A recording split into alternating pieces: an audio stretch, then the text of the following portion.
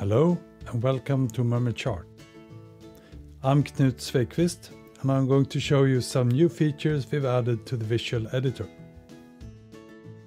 First of all, we've added support for subgraphs. Subgraphs is a way of grouping nodes in a flowchart. And you can add nodes in two ways. Either you click on the new icon down in the menu, or you right click on a node and select Move to Subgraph. As we don't have any existing ones, I create a new one.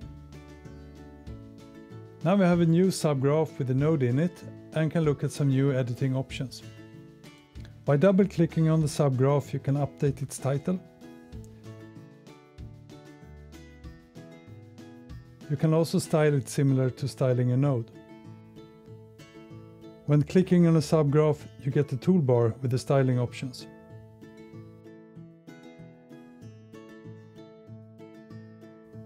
If you use the icon button to create your subgraph, you get a node as well as a subgraph in one go.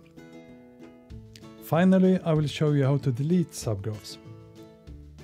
When you delete subgraphs, the nodes from within the subgraph remains in the flowchart after the removal of the subgraph.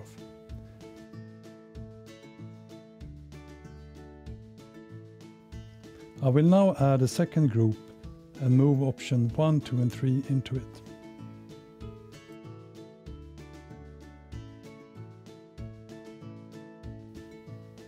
When you have multiple subgraphs in the flowchart and select Move to Subgraph, you get the existing subgraphs to pick from.